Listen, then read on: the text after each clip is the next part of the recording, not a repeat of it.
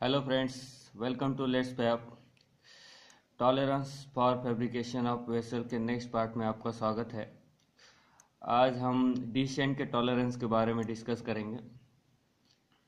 इसकी बहुत सिर्फ़ दो ही टॉलरेंस है जो इम्पोर्टेंट्स है, बाकी अगर टॉलरेंस हमें रेफ़र करना है तो हमें S M E course section eight division one के यू जी एटी वन में रेफ़र करना पड़ेगा, जहाँ पे पूरी डिटेल में डिशेंट्स के बारे में टॉलरेंसेस और भी जो बातें दी गई है। यहाँ पे जस्ट हमने ओवरव्यू के लिए कुछ दो ही है।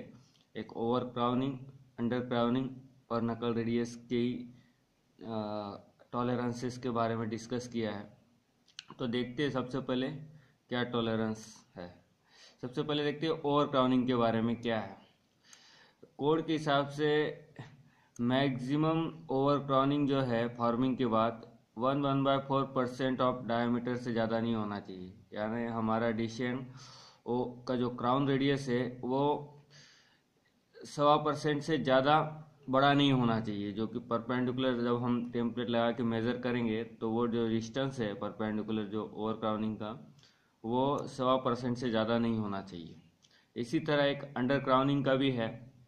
अंडर क्राउनिंग में भी सेम उसी तरह टेम्पलेट लगा के ही है, पर जब हमारा अंडर क्राउनिंग है, वो फाइव बाई एट परसेंट से ज़्यादा five by eight percent of diameter मतलब जितना हमारा डायमीटर है, उसका फाइव एट परसेंट से कम नहीं होना चाहिए।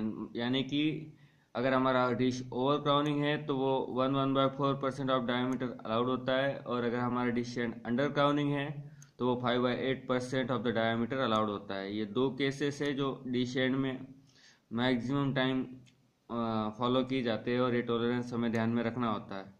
और जो नकल रेडियस है, हमारा जो नकल रेडियस परफेक्टली हमारी टेम्पलेट के साथ मैच होना चाहिए। यानी कि नकल रेडियस में कोई कॉम्प्रोमाइज़ नहीं होना चाहिए।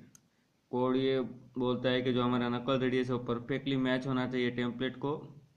जो उसने टॉलरेंस दिए वो ओवर क्राउनिंग और अंडर क्राउनिंग के लिए ही दिए।